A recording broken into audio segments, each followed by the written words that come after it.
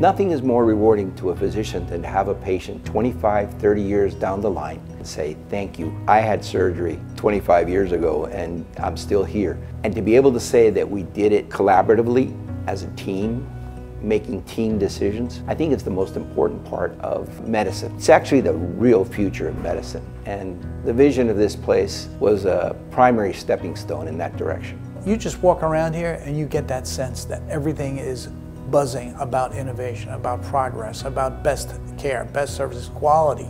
We want to be the best of the best. That's our goal. I'm sure you're going to show this around this, this beautiful facility. It wasn't like this at the beginning. We take it for granted today because almost all large healthcare systems have heart and vascular institutes.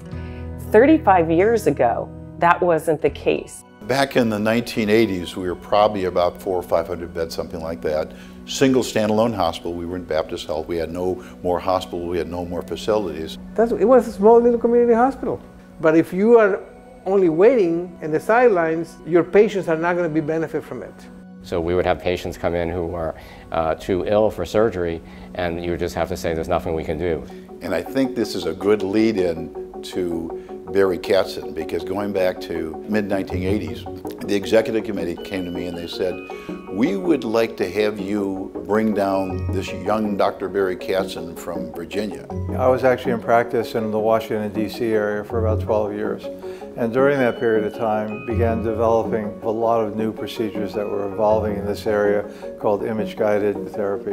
While I was in Washington, some folks from Baptist Hospital actually attended a meeting I was running in Washington, D.C and asked if I knew anyone who might be interested in coming down to Baptist Hospital and establishing this new field there by joining the radiology group. And I actually wrote ultimately uh, a three-page white paper describing a, a, new way of delivering care, a multidisciplinary model of healthcare that was patient-centered. And if the hospital were interested and the group were interested, then I might be interested in moving. So we brought Dr. Katzen down, and they called him young Dr. Katzen. He was all of 34 years old. He talked to the medical staff, and he was very, very convincing about building a large, world-class vascular center in South Florida. In the early days, it took Dr. Katzen a lot of convincing to convince me to come down here and help him create this uh, institute. So when we first arrived here at Baptist Hospital, Dr. Katzen, as a radiologist, was a practicing physician. He saw patients in an office setting, he admitted patients, etc. Well, that was completely foreign here at Baptist Hospital. And I said, well, this is a new era. Carol's been a tremendous person in terms of being the chief operating officer for the MCVI, so I have to give her full regard also because it's not one person that runs our organization, it's a great team. Early on, Dr. Katzen was well known because he had innovated some areas, in, in particular in thrombolysis and renal angioplasty. And he was a little bit of a maverick because he was in a private practice and most of the people doing this type of work were in academic centers. I didn't want to go into a practice and just be routine and do routine things. And the idea of being innovative and creative and doing things for the first time or pushing the envelope, doing things that people hadn't done was super attractive to me. Dr. Katzen is just so humble and easygoing that it is easy to forget just what he's created and accomplished and so many of the things that, that I take for granted. So, you know, I came in 2004, this was already a thriving institute, live cases were a thing. And to imagine someone sort of building that from scratch, I think is, is very amazing. I think the other thing he also understood is the importance of working as a team, to getting people together from different specialties, who at that time, when the Institute was founded, were not necessarily working together, even in academic institutions. And medicine at that time was organized into silos. So you had cardiologists treating the heart, you had vascular surgeons treating the leg, yet there were people treating hypertension, people treating stroke and stroke prevention, the neuro people, and no, nobody was really talking to everybody. He understood that to move forward, we needed to work together between vascular radiology, interventional radiology, diagnostic cardiology, interventional cardiology, and cardiac surgery to work as a team to bring patients better care. The philosophy of the Institute was, at the time, totally re revolutionary. It was the multidisciplinary approach to cardiovascular medicine. That says a lot for the organization that took a chance in something that was totally new. You know, in the early days, before we moved into the beautiful facility we're in now, we had to fight for the ability to expand. There was no building. The cath lab was downstairs by the emergency room, which is now the hemodialysis emergency room. So we sort of moved ourselves into every nook and cranny we could find available to either put a procedure room or put an office or whatever. And indeed, we did have some mobile trailers that we had in place outside the Institute walls that housed several of our physicians and some of the infrastructure. The growth was so rapid that it became obvious to everybody that we needed a building. I would say it was a leap of faith, and I did it with some reluctance because it was a lot of money. And when I use the term, if you build it, they will come. They came in droves, and it was very, very successful. That led to another expansion three years later, and five years later, and going down the road. So it was one of our most successful clinical endeavors ever. When the idea of creating a vascular institute at Baptist Hospital was formulated, it was formulated to really create a new standard and to create something that would make things better in our South Florida community. Cardiovascular care remains the number one driver of cost in the United States and the number one cause of death and disability in the United States. So cardiovascular problems are not going away anytime soon. And I think how we more efficiently deliver cardiovascular care will determine our levels of success.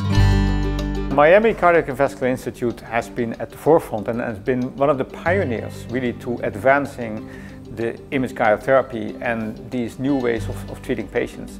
And always in close collaboration and partnership with, with us, with Philips, to develop new technologies and new systems and new ways of, of treating patients. To have a relationship with industry is extremely important in all of medicine. And to have physician leadership of the kind that we had here where we shared ideas of what we would like to do and have industry be able to develop the technology so that we could actually do it really improve the quality of care.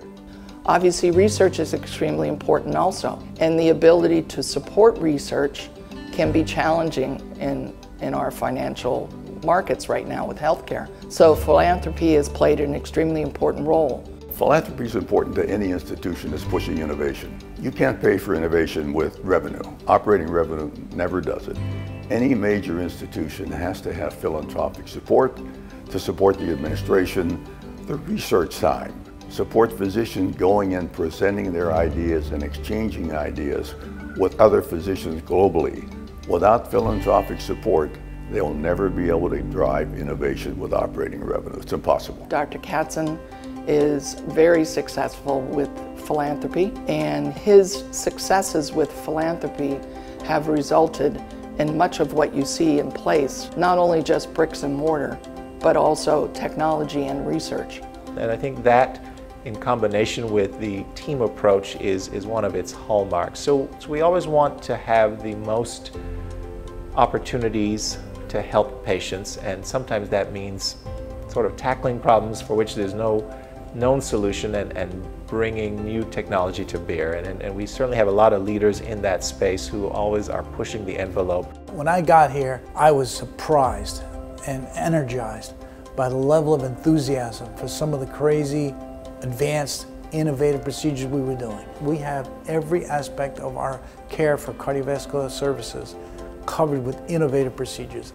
We were the first one in the city of Miami to do beating heart surgery, where you don't put people on the heart-lung machine. We were the first ones to do a minimally invasive aortic and mitral valve through smaller incisions so that the recuperation period could be improved. We were the first ones that brought a robot to Baptist Hospital and Baptist Health. The technology was so advanced that some people had real doubts to it.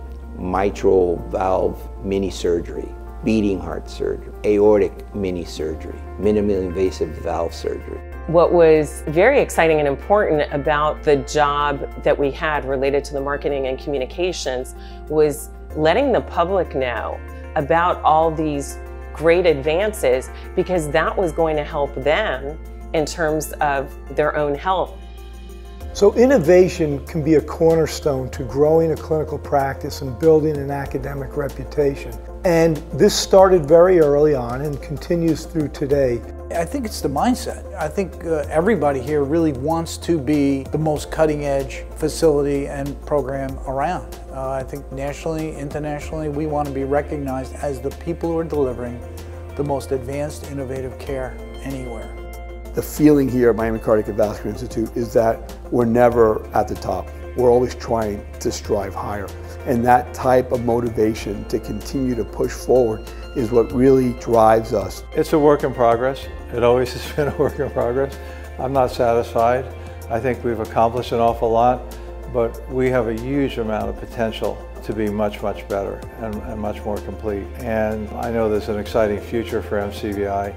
I think the collaborative atmosphere at Miami Cardiac and Vascular Institute between all the groups of physicians has been what's made it a great place and will continue to make it a great place in the future. And it's really the thing that makes me most proud of what we have here, is those friendships.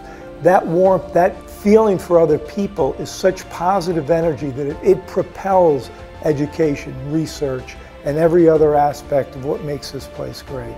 So I do think we are in excellent position to carry this into the next generation.